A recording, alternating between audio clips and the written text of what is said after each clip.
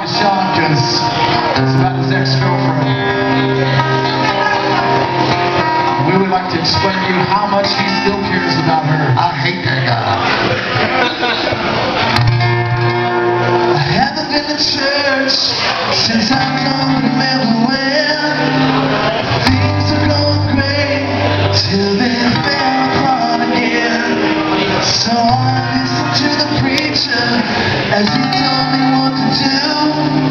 Since you can't others who have to you.